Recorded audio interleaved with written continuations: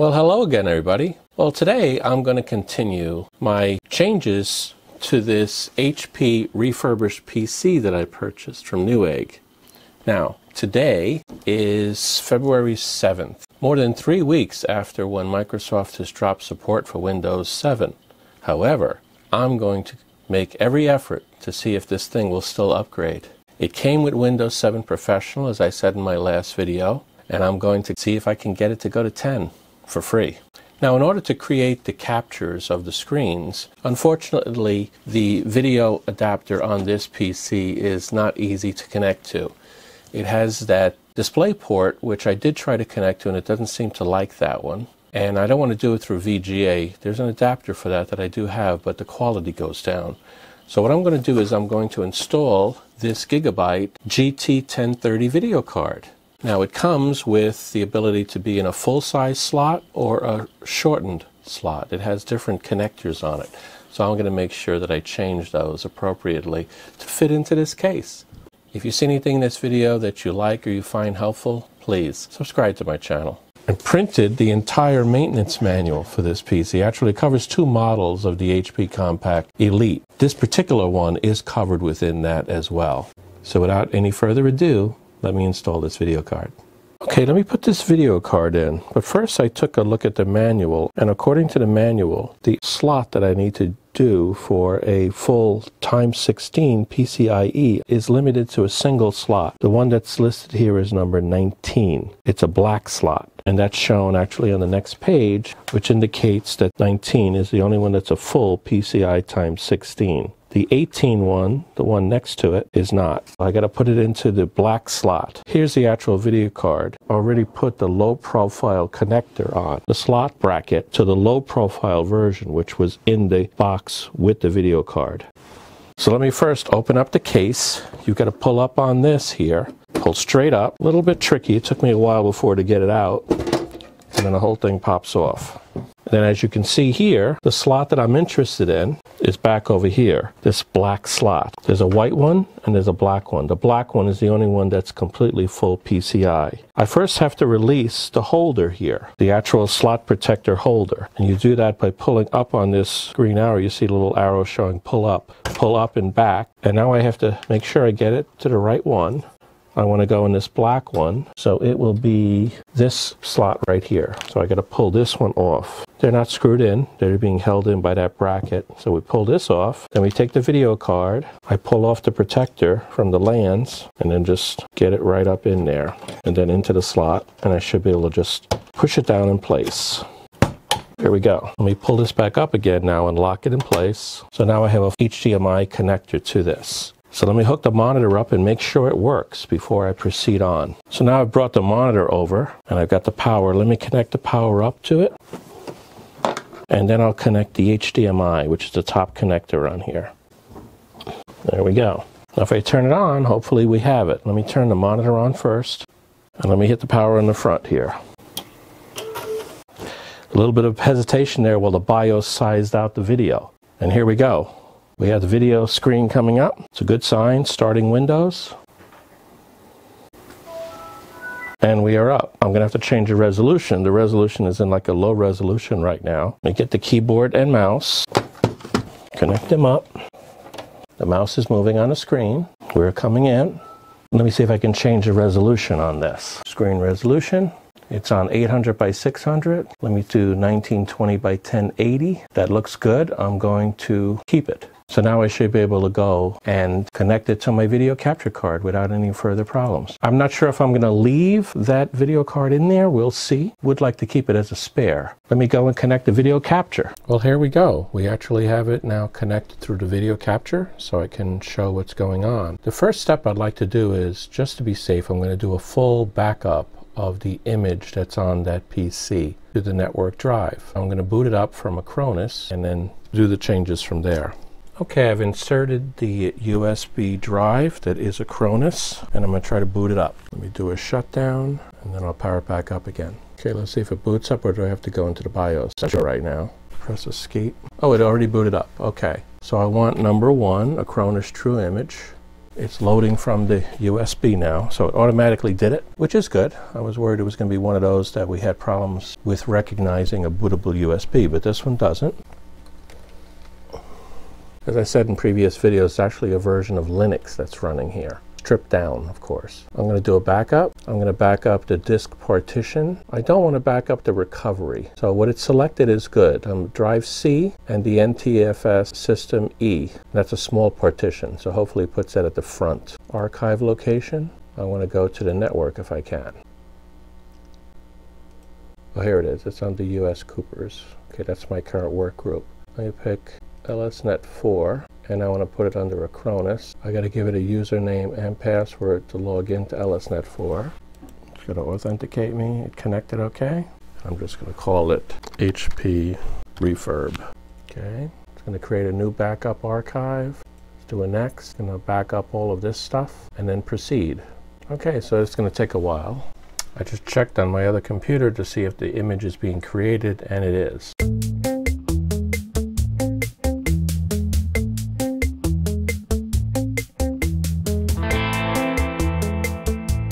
Okay, so I have a backup of this now, but I'm still going to pull the hard drive out. That's the next step I'm going to do.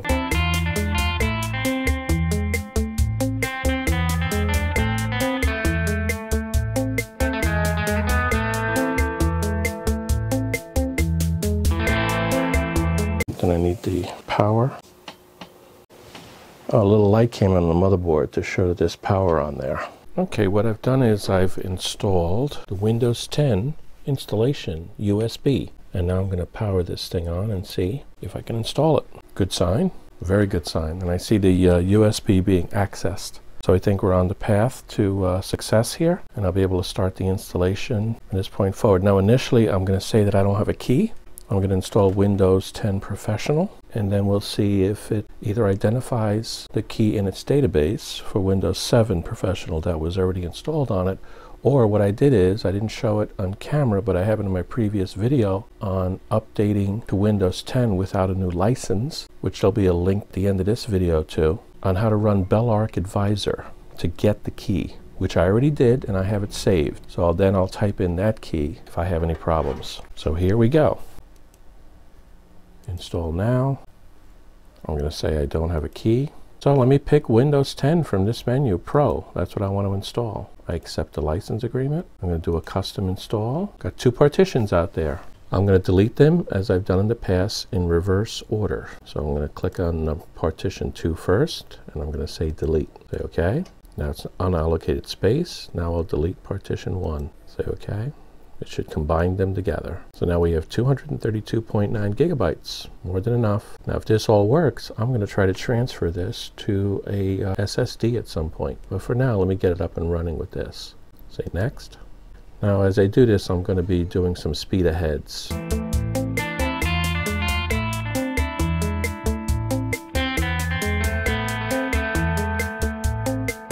Okay, it looks like it's uh, almost done at this point just installing some updates and then it'll be finishing up. So I expect this to uh, be completing in like a couple of minutes and then we can move on to some basic configuration and see what happens after that. There we go, it's restarting. Cross our fingers, it's actually running pretty well I thought, except for the fact that it's going to a real hard disk. That's not the fastest hard disk either. Okay, Windows is coming up now. I don't see the uh, USB being accessed. Looks like it's booting off of the thing. Yeah, I hear hard drive cranking away. Let me see if I can get the mic near it. It's really cranking away. It's definitely booting off the hard disk at this point. Not the fastest boot, but again, regular hard drive that's kind of dated and not the fastest one that you could get, obviously. I have the network connected, so it should be able to get what it needs from the network as well. Yep, I see the lights on that. But it's so much different with a, a non-SSD, isn't it? I would prefer a fresh load than to try to do an upgrade with the old data in place. That all depends on what you have on there, whether or not you feel that you can back up uh, the things that you need. Some people really love their desktops and they don't want to part with them. And backing them up is a little bit tricky with Windows, especially when you're going from one version of Windows to another. Okay, it finally got to the next step.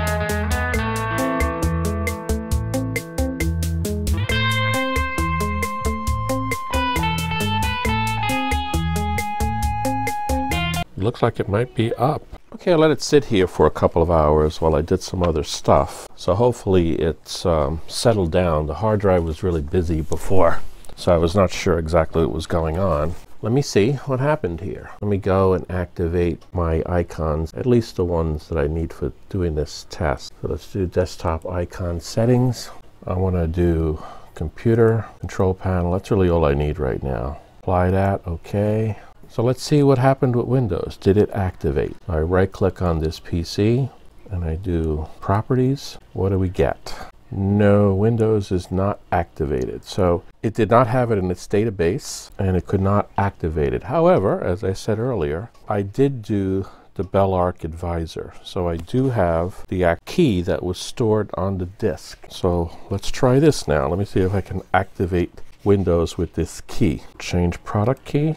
Now it's asking for the key. Type this in here. It will be blocked out online.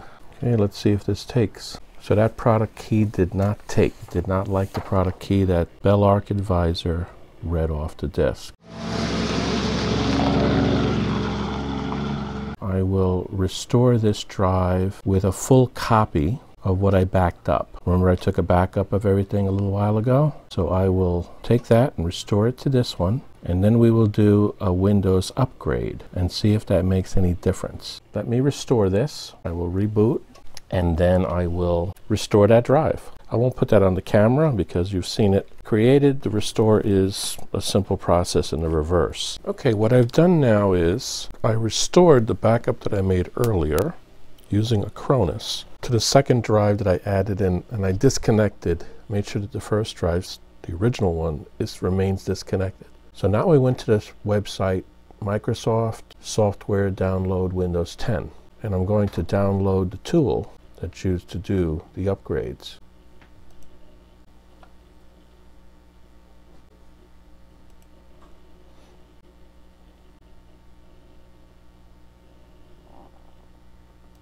Accept. So now I'm going to pick the option to upgrade the PC now, which it was the default. I do not want to create a media this time. I'm going to have it upgrade right in the spot. So now it's downloading Windows 10.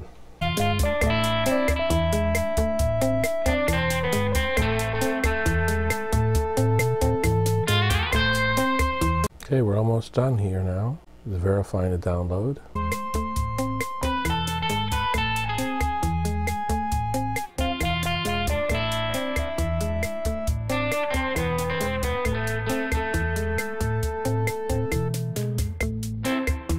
Okay, it looks like we're finally getting closer here. 94%. Maybe reduce this window. Maybe there's one be hiding behind it. Preparing.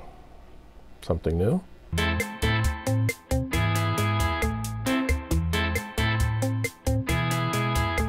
Okay, let me accept this agreement.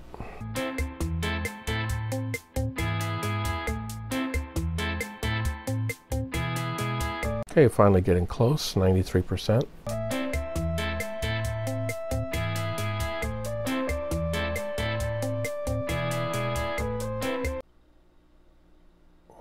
Okay, it's saying I need to give it some attention.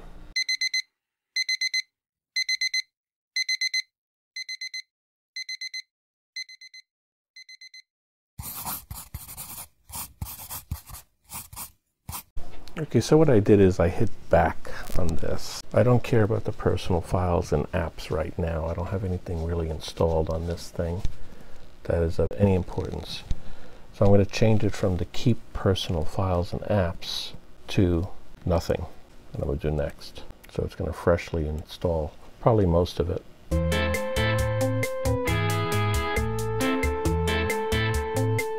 Okay, it looks like it finally got to the next step here checking off what it's going to do. It's going to install Windows 10 Pro. It's going to keep nothing. That's what I want to do. Install it.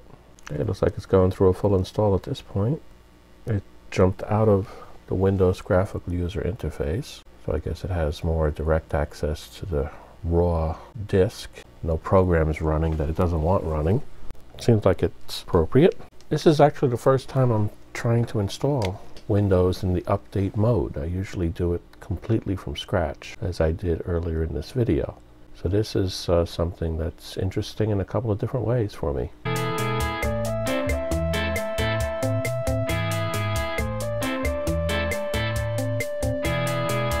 Okay, it's uh, at the next stage now. Let me go through and answer some of these basic Windows 10 installation questions. That's a yes. That's a yes. That's a skip. Doing something with the network. Says they have some important setup to do. Okay, we do a setup for personal use. I want to create an offline account. I want a limited experience. I don't want any of that stuff. Who's going to be using this? I'm going to put a password in this time because last time I couldn't access my network easily without that. So let me put a password in. I, want, I don't want the digital assistant. I don't want any of these options. They create bloatware for you, so I take them out.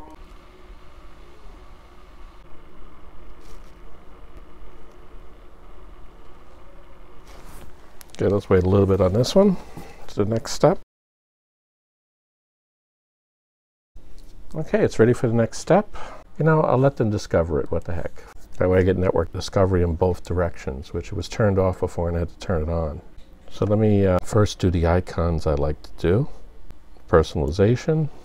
Oh, before I did that, I better go up to the next higher resolution because it will, let me do display settings first. Let me make it a higher resolution, otherwise I won't be able to see what I need to see. I don't want 150%, leave it at 100, but I want to change this to 1920 by 1080. But that's what I have. So it was just the thing was at 150%. Go to personalize, open this up a little bit. The stuff you don't see is all the way in the right hand side here. And I want to get, unfortunately, I have to themes first. I don't know why they buried an extra level deep. And then you can do desktop icon settings. And I want to get control panel, I want to get computer. Those are the two I really need. I'll throw network in there too. I'll say apply. Let's see what we look like in terms of properties. It's activated now. Whoa, beautiful. So now we're able to activate Windows entirely. So by doing it as an upgrade rather than completely scratching the drive and putting it in there that way, since apparently Microsoft does not have their database updated properly for the, the Windows 7 licenses. They probably erased that whole database at some point, like I think I said in a previous video that I suspected that. So we've now activated Windows 10 automatically because I did an upgrade. So that still works perfectly well connected to Microsoft. So let me uh, restart it now. Let me close all these windows first and I'll do a restart. So that's it. We, we're looking good. Well, I, I can't believe it. This was a little bit surprising. I did believe it would work, but you never know. They could have made a change to something and it would have stopped working, but they didn't. I was able to upgrade this thing to Windows 10 Professional for no additional charge, just a lot of time. It was a lot slower than I thought it was going to be. This probably took because of a couple of different factors. Probably because it is not a super fast computer. You know, it is a Core i5, however, it's only 3.1 gigahertz, but really the disk speed and the memory are factors I think that really contributed to this. Got it done, but it took me nearly three hours. So what you see on the video in terms of my attempts to get this thing up and running with Windows 10 took a lot of time. So I had to slice some of that out. Some of it I sped through, but some I did slice out, as you may notice. In any case, if you see something here that you found useful or helpful to you, once again, subscribe to my channel. My little head will pop up here in a moment. Click on it, follow along, and subscribe. There is no charge for subscribing to a YouTube channel, and it will not bother you unless you pick that you want alerts. I don't need you to take alerts. Right now, I need your help in subscribing. Thanks for watching.